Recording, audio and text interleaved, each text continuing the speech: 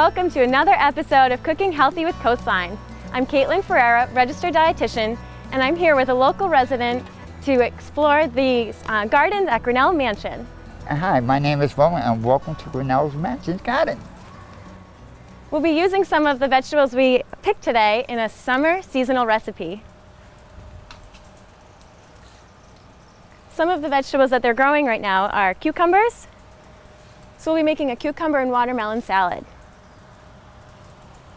Roland's been taking care of the garden. Do you want to show us where the others are? Sure. As we're coming down and coming into them, we've got a few more.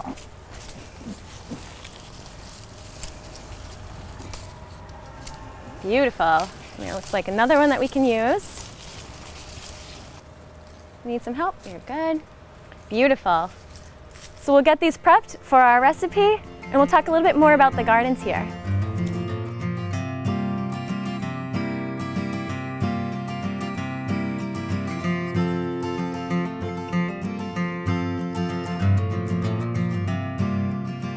Using some of the uh, fresh cucumbers that we've just picked in a cucumber watermelon salad. So we've got watermelon, jicama, the cucumber, red onion, some lime juice, feta cheese, and vinegar and a little bit of olive oil. So Roland and I are just gonna go ahead and start getting this stuff ready, mixing it all together in here. Right, so, look at that. Beautiful. So this is a mini watermelon, which I have never used before.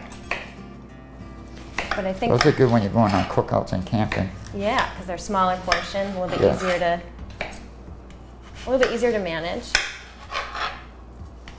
Do you know how to tell if a watermelon is ready to be eaten? Yes. What are some things that you look for? I listen to what noise it makes Okay, how do you make the noise? when you tap on it. And should it f- Oh, not sound... just that, you also can test by pushing in the ends. Exactly. So what do you... Um, when you tap it, what's kind what's the sound that you want You to hear hear? like a hollowness to it. Hollow, right. I was told that sometimes if you look for the stripes, if they've got really defined lines or a really small little bullseye on there, that can sometimes tell if it's a little bit sweeter. I think that's fun. We're just making small cubes of the watermelon. I'm gonna put them right into our mixing bowl. All right. And watermelon is in season this month. And although it's not growing here, I wanted to incorporate some other items that um, you might find in your own garden or maybe a community garden that you volunteer at or even at a farmer's market.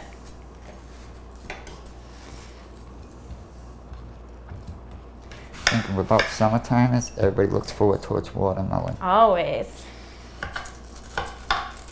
Very refreshing, loaded with um, some vitamins and great for hydrating actually. So sometimes we can eat our fluid as opposed to constantly drinking it.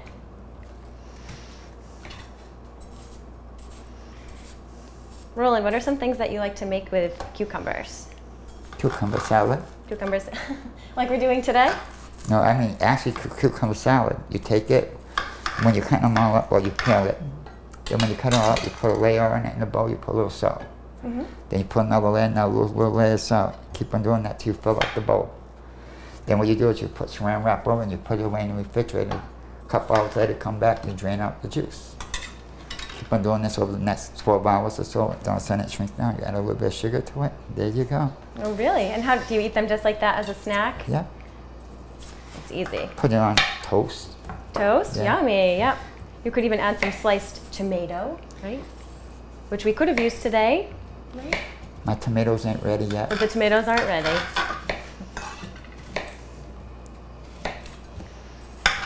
Beautiful. But you see, Uh, yeah, we'll see just in a bit. All right, I'm thinking this might be enough watermelon. I don't want to do too much. What do you think? oh, that's good. Yeah, we've got plenty of cucumber to throw in there. I'm gonna start working on the jicama. So jicama is a root vegetable, and it kind of tastes like a cross between a potato and a pear. This might take a little while.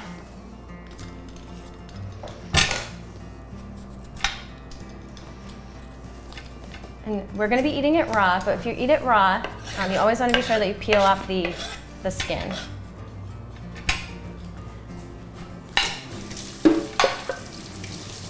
Jicama really likes warm, warm weather and typically grows, um, it's really popular in, I think it's Mexico. They have such a warm climate.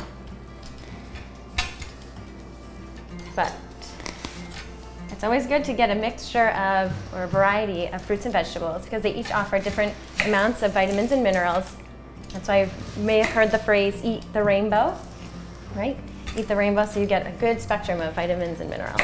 Love vegetables. Yeah. What's your favorite vegetable? What's your favorite vegetable? Mm hmm Tomatoes. Tomatoes. I like the small cherry tomatoes at nighttime for a snack. Those are really good. With some fresh basil, No, just as just is. as is. What's your favorite thing to grow? What's your favorite fruit, vegetable, or herb that you like to Actually, I like watermelon, but we haven't tried that yet here. No. And you've been working on this garden since, how, for how long? Well, we started the project last year in memory of somebody.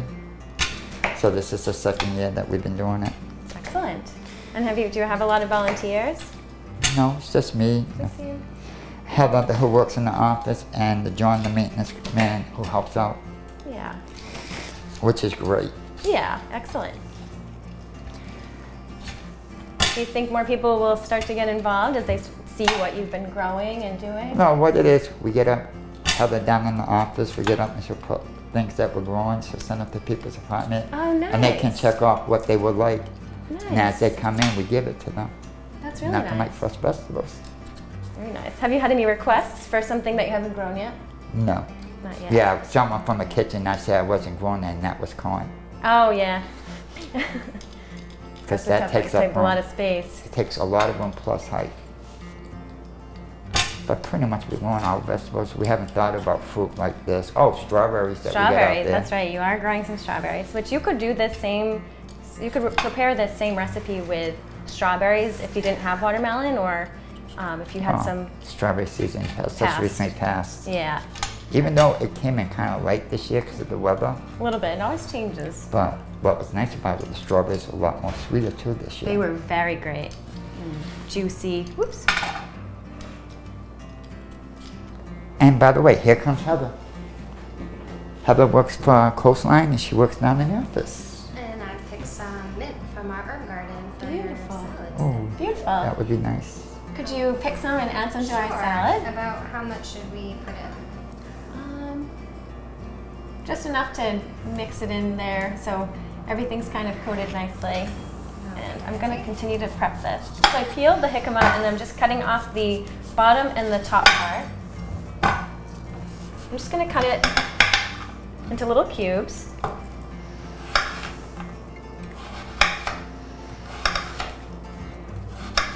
You're growing some other herbs, right? Up in the front? Yes. What are some things that you're growing? Parsley, Parsley. Some basil. Yummy. oregano, Yeah. Some thyme. Wow. And some dill. yeah. The dill's just starting to come up. Yeah. Beautiful. We could have actually used um, basil and or parsley as well in this recipe. So if you have them and you want to incorporate them, So you could use those instead of the mint. yeah, or in pla- or in addition to them, Oh, yeah. As you can see, this salad is very colorful, and a lot of people will say we eat with our eyes. So just looking at that, you might start to uh, build up a little appetite. What do you think? That's why I said this is disappearing up into my house. Y'all have fun. It does look good. Not like fresh vegetables. I eat a lot of it. Okay, let's give this a little mix. And we didn't do any measurements for the um, The ingredients for we just everything, was right? adding. Just kind of mixing it all together. And then what are you going to add in next? We're going to add, yep, a little bit of feta cheese. Okay, just enough so that there's not too much, but everything's. You could get a little flavor of the, This is what we the feta cheese when you have a bite. Yeah. What's Now the we trick can- with this? What do we use this for? It's gonna go on the top of it to add a little flavor. That's right. And if we want, I'm just gonna rinse my hand quick, but do you mind squeezing some lemon juice, lime juice, sorry, lime juice into the bowl there? And Heather, if you want, you could just drizzle some olive oil right over it. Yeah.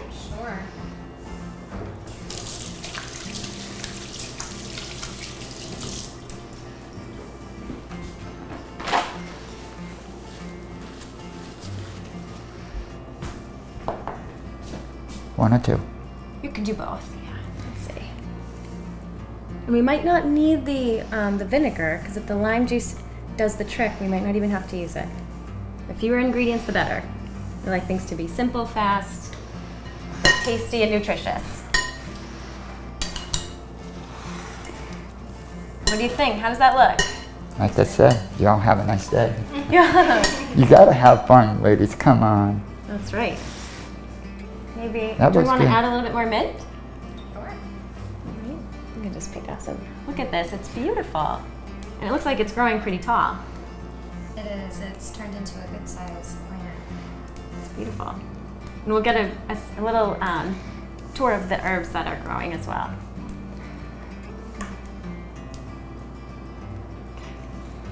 Awesome. Okay, so we'll give this a little try. What do you think? So we can try what we've made. Perfect. Thank you. Thank you. Go. There you are. Thank you.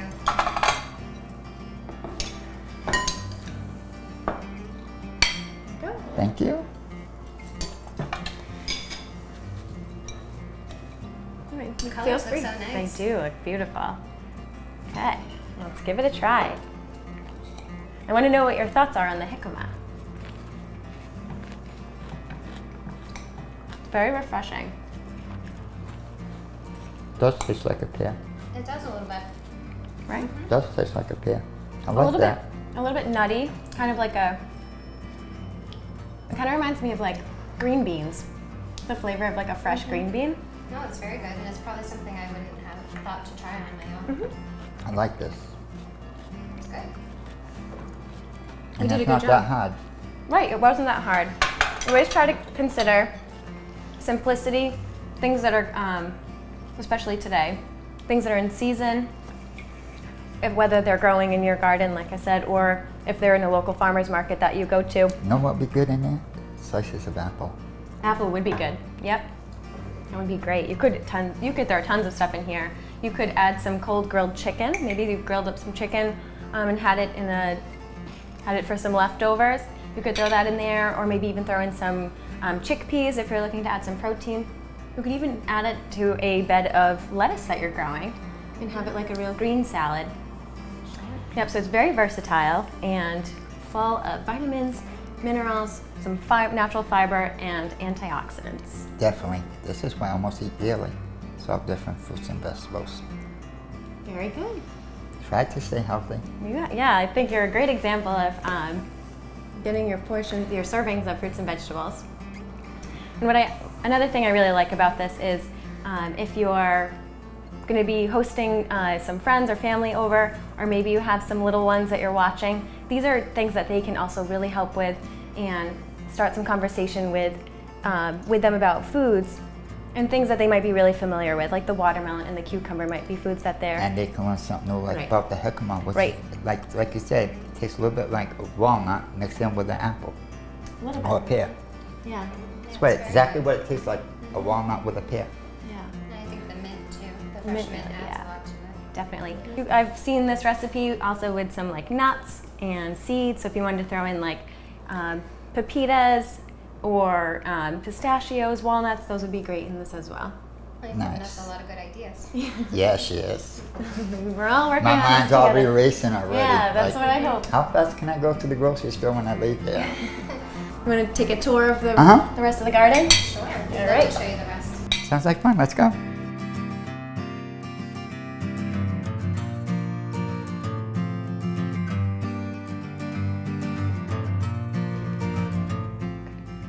And this is some of our herbs.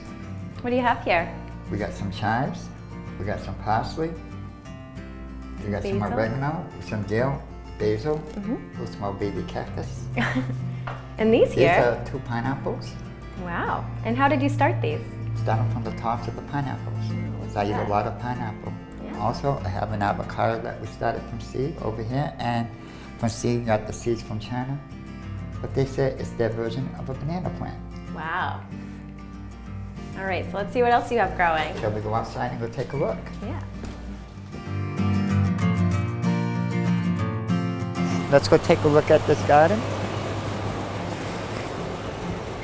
It's not a big garden, but it works nice. As peas came and gone already, the tomatoes. Tomatoes, are you've got a lot here. I can, I can see some of them are starting to get a little, a little red. On Tuesday, this thing was the size of a quarter. In a matter of three days, that's how much it grew. Wow. So some green bell peppers there. Yeah. Beautiful. Pepper, pepper, pepper, pepper. We got Oh, and some artichokes, Some carrots. carrots. Carrots those back those there. I get pulled up in recognize the fall, those yeah. greens. Yep. Those are the artichokes. That's an artichoke. One's over there, one's over there. Beautiful. It What- looks like we've got a red tomato in here. I can see it. It's hiding Now way that under you there. can reach down and pull out. yeah, are you sure? Sure, go ahead. We had some I don't know if it's ready yet. It's still a little green, but they've got there's a lot of tomatoes under there. And the third plant is finally just starting to grow the tomatoes in now. it's another tomato plant there. Yes. Yeah, And you've got something over here, right? Yes, strawberries. Of course, they've already been coming gone, but funny thing is, after strawberry season, you still get one or two that grows in.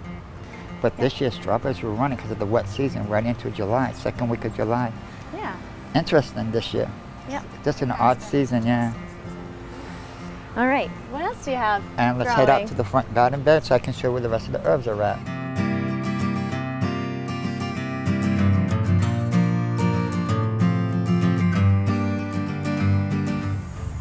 See, there's the curly parsley, Parsley. the mint, and up over here, it's hiding behind the marigold, is the big basil. More basil. Ain't that nice? Mm-hmm. Not much, but it's a start. Exactly. I smell the basil. I know. Yeah, that's because it went to flower. When was the mansion built? It was built around 1831, 1832. Awesome. It's What- beautiful. Yeah, but what's beautiful about it is the history behind this building. I'm sure. Two famous presidents, to my knowledge, and other people still here. First one was Abraham Lincoln. Next one was John Quincy Adams, Wow. and a few other writers. That's exciting. Rich history in New Bedford. Yeah. Well, thank you for having me and for the tour of the garden and for your help preparing our seasonal summer recipe. It was a pleasure working with you. Thank you for watching another episode of Cooking Healthy with Coastline. For more information, go to coastlinenb.org.